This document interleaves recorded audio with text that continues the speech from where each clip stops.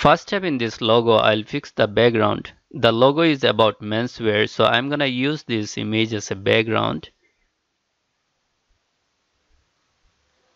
Drag the image down and make it smaller in size so that it can fix within the page.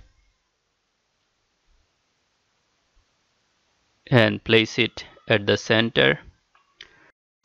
So this background image is reflecting too much. So what I'll do here is I'll create a new layer and I'll apply solid color at the background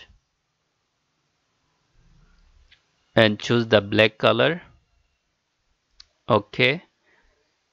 Now take this image layer at the top and let's reduce the opacity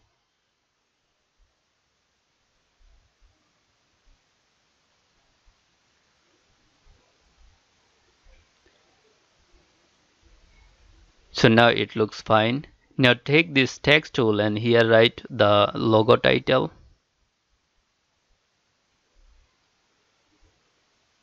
So make sure the first letter is in capital and the rest is in small letter.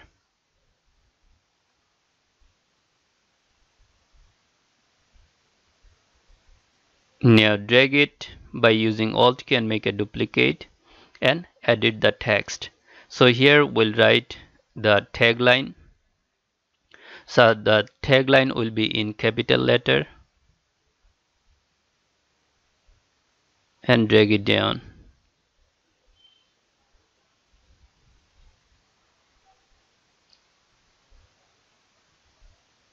Let's change the font for this. So I'm applying this Trajan font here. This is a free font to download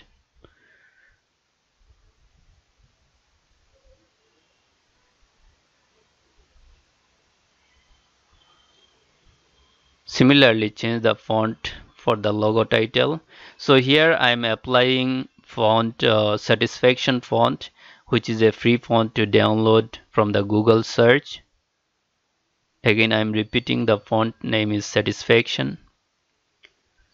And now let's change the color of the text.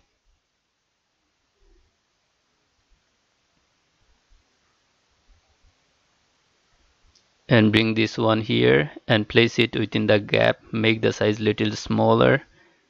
And let's change the color of this text as well. So this is very simple. Just uh, you, you don't need to do anything with this logo just change the font. That's it. So hope you like this tutorial. Thank you